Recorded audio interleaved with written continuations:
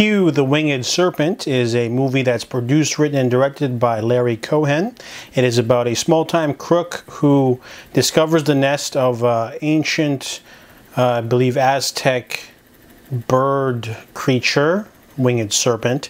Um, however, there's also a killer out there performing human sacrifice in order to fuel the creature. And uh, basically, the, the small-time crook is able to leverage uh, his knowledge of the creature to the police for money and immunity.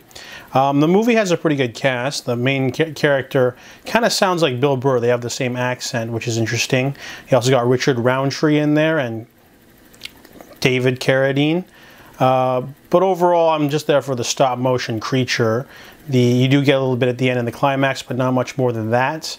Um, it's a lower budget film. Some of the effects look kind of dodgy, but overall it, it, does blend a little bit of everything. There's a little bit of a satire, a little bit of a monster movie. It's also like a character study about the main character because he's been beaten down by the city his whole life.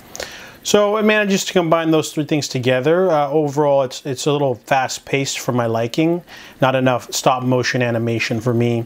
I like a lot more. So you know, I don't think it's worth watching just for the, the five minute sequence you get at the end, but uh, Q the Winged Serpent is an okay monster movie horror character piece satire. Um, and I give it a 5 out of 10.